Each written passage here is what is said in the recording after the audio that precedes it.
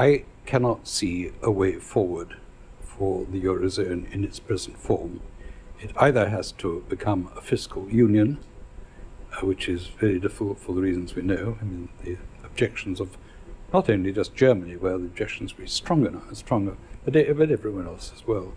Um, can it be done by issuing um, European bonds by the um, central bank? I don't know. Um, I think there will be objections again to the the, Germ the Germans will become effectively lenders of last resort if that happens. Um, what about the um, European um, financial mechanism, which is supposed to, which will take, as far as I understand it, uh, 27 parliaments to agree to before it can be set up, uh, and with possibly enough money in it. Uh, that would be a way forward, but it's the the it's so crit critical at the moment. Uh, we don't need a solution three years down the track. We need it now, and we need, as everybody says, but this, so I'm just repeating, we need leadership and we, and we haven't got any.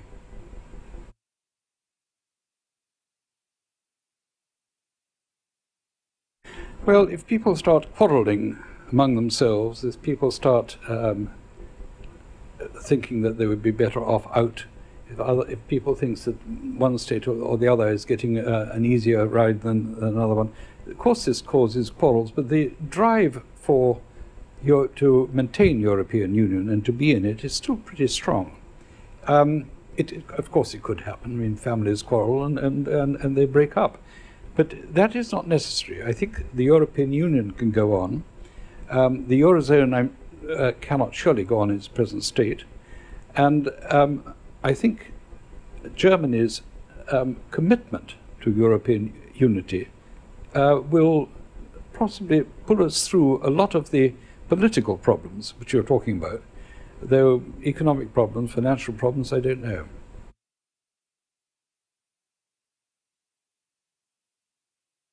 The whole incident is quite extraordinary. I understand that he was, as Chancellor of the Exchequer, he was made to able to take that decision entirely by himself, uh, without consulting the rest of the cabinet, without consulting anyone in the Treasury, which he may have done. He was able to do that entirely by himself, just as a foreign secretary in Britain is able technically to take a country to war without consulting anybody. In the First World War, the Sir Edward Grey, I think, um, came to the House of Commons and uh, said, uh, I've, declared, I've, declared, war on Germany. Uh, everyone cheered, it was all right. Um, but uh, in the same way, the of Exchequer was able to sell off these vast amounts of our gold reserves um, on his own say-so. And without telling anybody. We didn't know about it for a long time afterwards.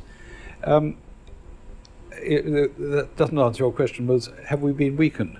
Uh, we must have been weakened, but um, we, we've got enough in reserve, and our economy is, you know, we, we are fairly balanced in our approach to it. Our debts are bad, but we're, we're nobody thinks we're going to default on them so far.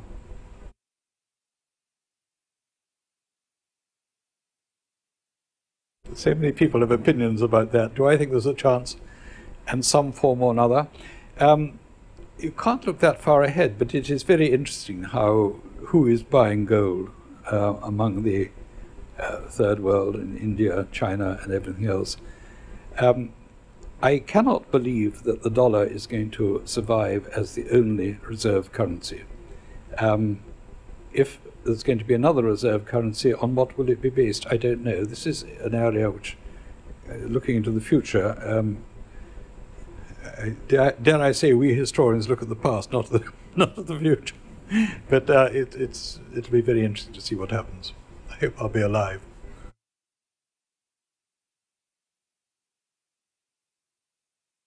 Well, China, China obviously has a, has a great interest in, in, in the dollar maintaining its value.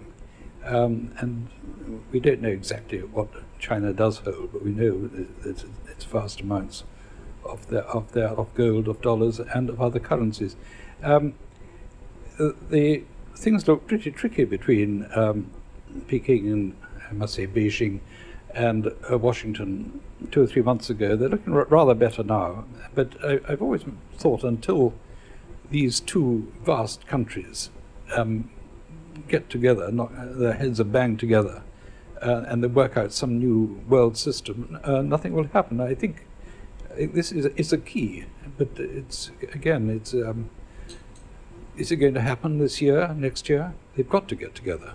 They because they they're not quite like two drunks holding each other up, but they're they're they're totally dependent on each other and and and and, and how they will go forward.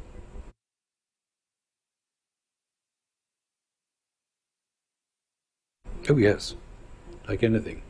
Um, the and and the French, for example, knew what was happening, but they were they were so determined to hold Germany down and get as much gold as they could out of Germany that they were uh, they were not helping very much.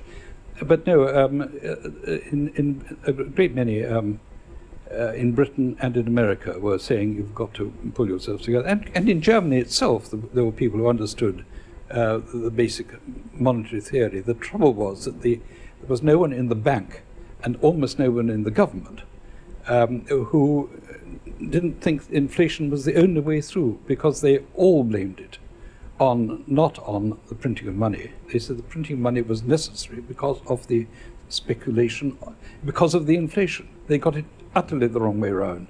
And there were enough people around um, in Germany and in the German newspapers uh, commenting, saying the president of the Reichsbank must be, uh, who was a president for life, uh, must be sacked.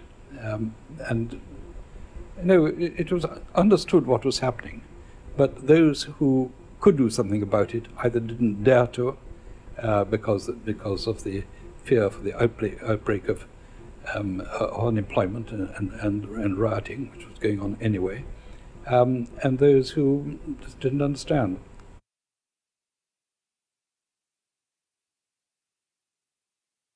Very good question. Um, notice how the Keynesians always seem to be in opposition. They're, they're not the people who've got to take these difficult decisions. They're, um, they're the people in, in, this country, for example, they're saying we ought to relax, um, relax the money supply, make easy money, get, get the economy moving again, get some stimulus into the thing. Um, and so, so, there's a sort of self-generating Keynesianism among among people who think they know better than those who are actually having to do something about it. A leading Keynesian in this country, who may as well remain nameless because I know him, um, and wrote a book about Keynes a not short time ago. Um, he ended an article in the FT not very long ago saying, "And if this goes on, after all, we can always print money." This terrifies me. Now, that also happened to a member uh, this last week um, to a member of the Monetary Policy Committee of the Bank of England, uh, who was um, one of the doves, saying we've got to do some more QE here. And he said the, the analogy is very close to a doctor who thinks that a cure is working, uh, that some medicine is working, but if it's not, he steps up the dose, doesn't he? Well, this is what one doesn't do.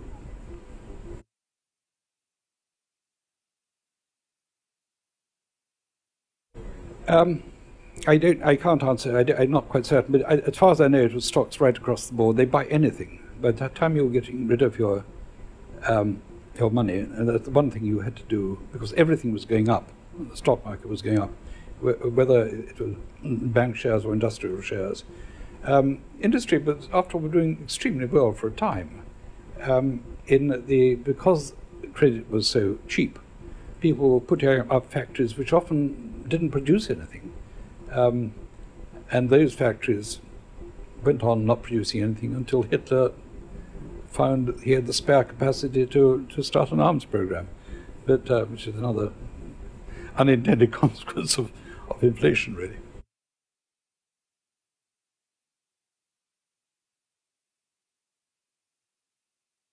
Well, the Zimbabwe one was a totally cynical one, and the, the idea was just to get was to get rid of debt and to, to pay off debts.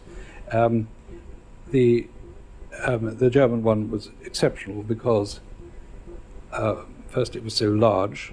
Though Austria and Hungary, which had um, simultaneous uh, in, inflations, and, and uh, but got out got out of them rather faster.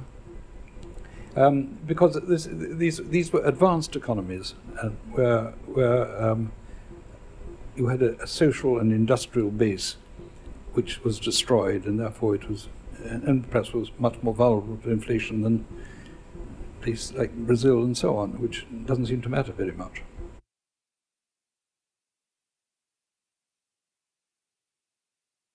at some stage you, you, start to panic. Uh, the point about hyperinflation is it, it, the definition of it, the popular definition is, is in the month when uh, inflation reaches 50% for the first time, which is the 600% a year um, equivalent. Um, and by that time, if you're losing money at that stage, you panicked. But long before that, you, you are trying to get rid of your money. You're wondering what, what's going on um, and you stop trusting it. I mean, money being the, your only, it's so important in so many ways. It's your, it's your sense of security, it is your uh, sense of social position, it is your future, it is everything.